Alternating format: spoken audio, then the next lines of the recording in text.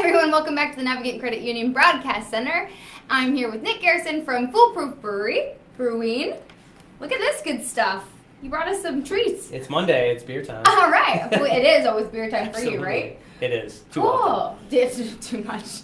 All right. So let's talk a little bit about Foolproof. Sure. You guys are doing great. Thank you. You're big. You've been around for a couple years. Yeah, we're in our uh, actually our fifth now. We just had our fourth year anniversary. It feels like we've been doing this a long time, but in the grand scheme of things, we, we haven't really. But uh, yeah, we're, we're up in Pawtucket. Um, we do tours and tastings there. We've expanded our distribution throughout New England, so not just people in Rhode Island are drinking our beer. We're getting it uh, all across the region. So.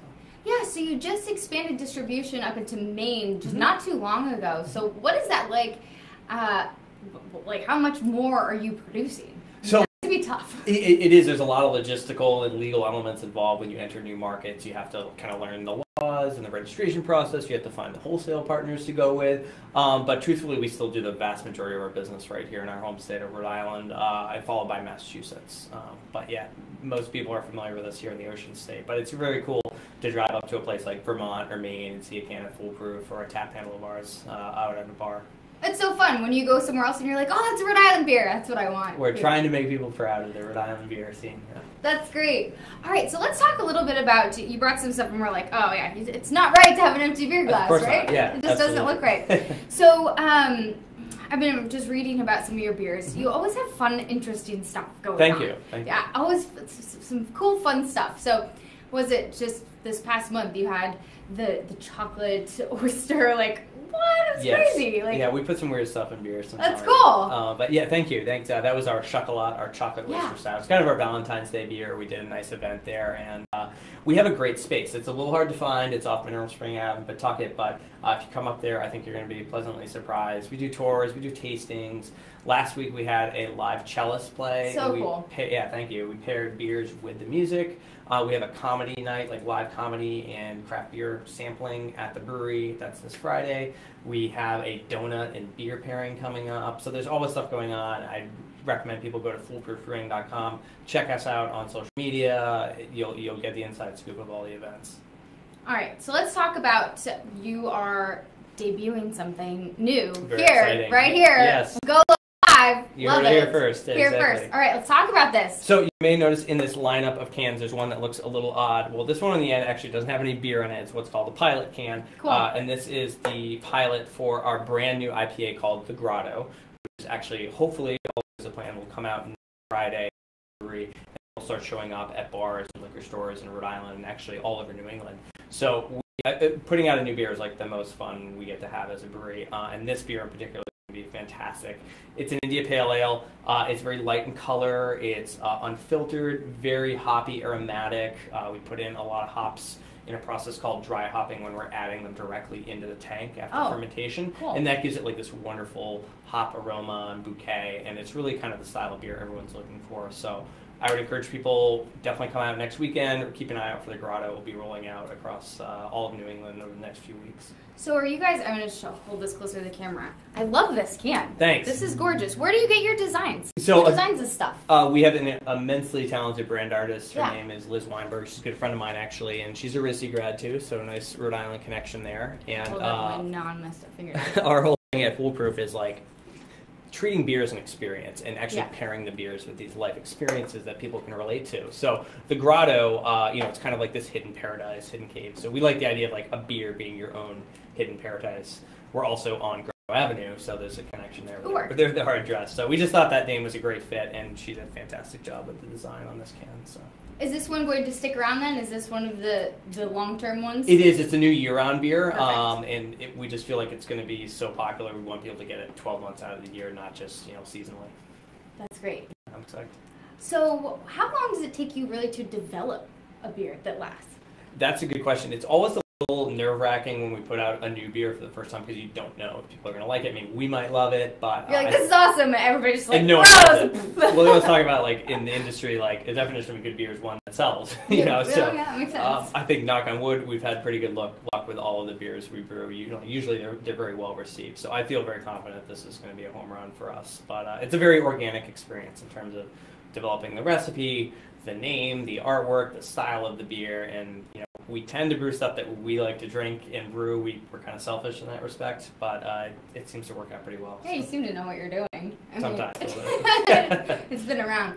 So what is it like? A, like a five month concept, like a two month concept? Like how does it? I mean, what go, really goes into it? Well, there is a lot involved, particularly when you're putting it in a can in terms of all that proofing. Yeah. There's federal approvals involved with the government. Um, so I'd say on average, like in terms of the day we want to make a new beer to it actually being canned and produced, you know, it's probably around four to five months. That doesn't seem too bad. Probably No. seems like it when you're going through it, but Yeah, in terms yeah. of like making it finished and product, that doesn't seem It's doable. It's doable. Yeah, obviously.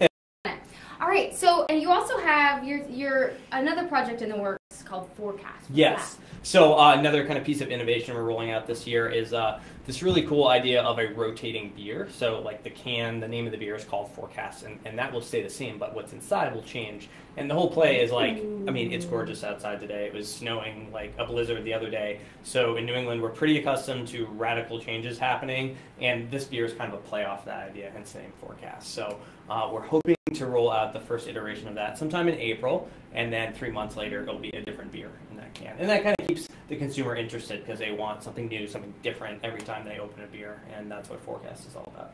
That's so fun. Thank you. That's like it's kind of like like one of those mystery lollipops. It is, You know, yeah. in the wrapper, you you, you're you gonna don't know what you're gonna get, but you're like, yeah, I totally want that one. Yeah, That's awesome. How fun is that? it's the meteorologist beer.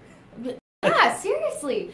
So what it goes into something like that, where you're just like, let's do something fun and different, or Yeah, I mean, this industry is changing so much. You really have to kind of be on your toes and, and be forward thinking about everything. So this is something unlike any other beer project we've launched before, and it seems to really connect with, with what the beer drinker wants. And the beer drinker wants something new. They want a new experience. They want to try maybe a flavor or a style of beer that they're not accustomed to. And Forecast is kind of pushing the boundaries a little bit in terms of the styles of beer. It won't just be an IPA. You know, I I don't want to reel too much, but it'll be Yeah. like a, very unique type of IPA or some kind of odd ingredient, which you know, like the chocolate oyster stout, we're pretty accustomed to doing. So uh, I'm, I'm hoping it'll be a big hit.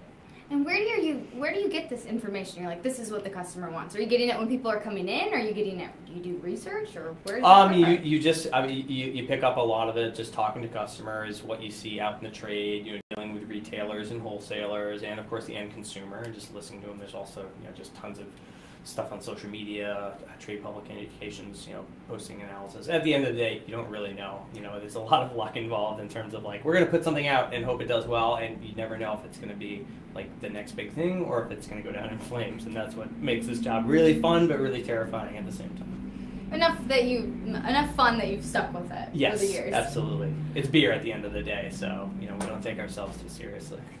So, uh, what has been some of the most interesting beer that you've made over the past couple of years? Um, I think, I mean, the, the chocolate oyster stout is right up there. so that's I mean that's just fascinating. yeah, like- some people are kind of freaked out by it, but it's really it's really nice. Actually. Just that process that you do to to make it happen. Yeah, yeah, it's it's fun. Um, I the peanut butter porter. Um, I think that raised some eyebrows when we first released it, but when people kind of just shed some traditional thinking about what beer is or what beer can be, um, that they open their minds a little bit, and then they realize like just they're introduced this whole spectrum of flavors they never knew was out there. So um, we've also like our raspberry IPA that was kind of last summer's hit, Queen of the Odd, uh, which we'll be bringing back this year, but that was That's good. that was good. also really unique too. So that's good. Thank you. Um, so when it comes to the seasonal versus the year round, Mhm. what how are you guys doing? How are sales? Um, good. We're in what is historically the very slow part of the beer season. Unfortunately, we're, we're very much in the weather business in beer. So you know, after the holidays, Super Bowl's over. Um, people have a lot of debt. P- people are tend to be drinking less beer, but you have an unse- unseasonably warm day, and that can really turn things around. So typically, we're busiest from Memorial Day to Labor Day. That's kind of peak season for beer.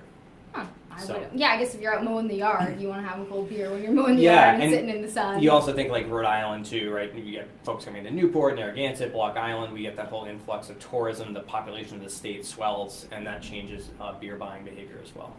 So do you think um, do you think that really beer industry helps along with the economy and the tourism industry? Absolutely. I mean, uh, beer tourism is a thing, uh, very much so. I mean, you, you read about you know Colorado, Vermont, Northern California, Portland, Oregon, uh, Portland, Maine. Now, they, like these are places that people are, are traveling very long distances to go to try the local beer. It's something I think we're just starting to tap into in Rhode Island. It's very exciting, and we have such a rich, amazing culinary history in this state, and beer is part of that. So uh, I think it's I think it's very exciting. It's really fun to be part of that. We're seeing more and more people come to our tap room who Yeah. don't come to Rhode Island regularly, but they heard about us, and then they're getting a beer here. But then maybe they're going to Providence and they're having dinner somewhere, and they're getting a, a hotel room, and so you can see the kind of economic snowball that creates.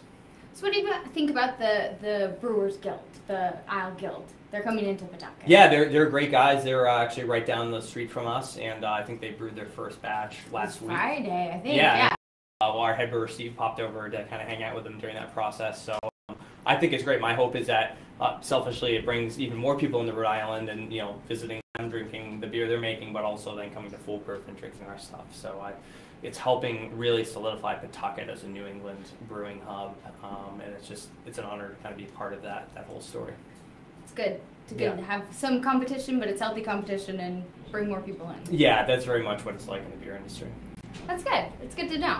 Uh, and you, like you said, you're having more and more events. I mean, I'm looking Yes. at your event list. You're making it really a space, kind of a destination, not Mhm. just beer, but doing really different things. And one of the reasons I reached out to you was for the Bach and beer, which I thought was so cool. Thank had, you. had That a was a cellist come and play. Hit, yeah. Yeah. So how did the event go? I, I thought it was fantastic. It was one of those events where we didn't sell tickets or anything like that, so we were kind of like flying by the seat of our pants. We didn't know how many people were going to walk in the door, but we ended up with over 100. And it was amazing. We, you know, we shut down the pumps. We really tried to make the space as quiet as possible. We just, oop, we just let the uh, the cello do the. Uh, See, I'm not breaking things this time, Tony. That's why I'm I like, moved- don't knock over the That's beer. why I moved the full beer to your side. Um, but the cellist was amazing, uh, and he just played, you know, three suites, and we paired each suite with, with beer.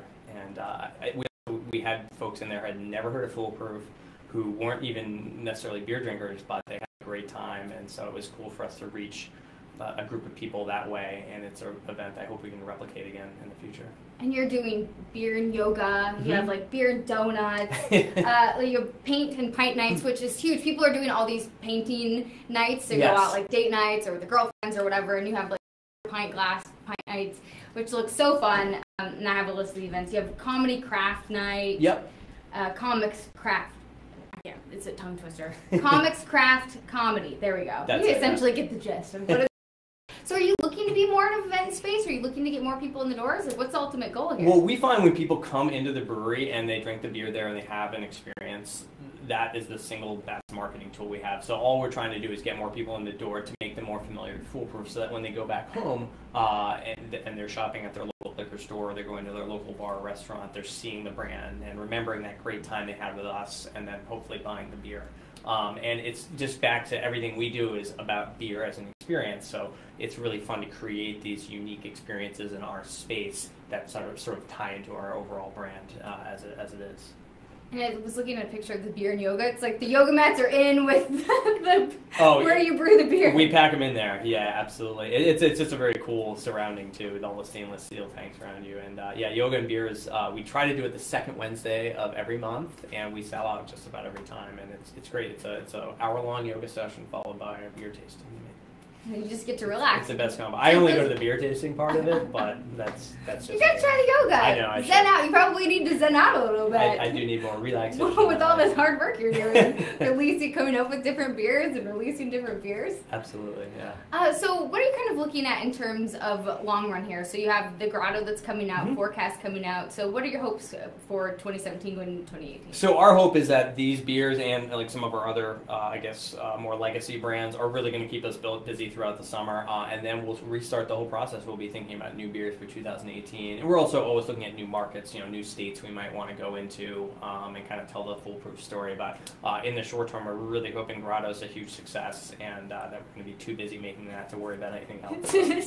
and then you'll be able to get some yoga and chill out. yes, exactly. Need a lot of yoga to go with it. Great. Nick, thank you so much for joining us. Absolutely. Thank you. Uh, really appreciate it. We're going to, if you have any uh, questions, you can always go on their website. And uh, um, I'm going to take a picture of this so we can enjoy this beautiful design. Sorry, there's nothing in it. no, no, that's probably good. I would probably knock it over like this. All right, so Nick Garrison from Foolproof. They are located in Pawtucket and have a ton of different events and activities like the like beer and yoga and donuts and beer. I mean, Not quite as healthy, but uh, equally fun. no. But then maybe you can just go take a jog after because you have like a you have a run too coming up. Yes, yes. So all kinds of stuff. All right. Well, so great to meet you. Appreciate Thanks, it. Colin. And you'll let us know when the next round's coming out. Absolutely. Great, Thanks for having me.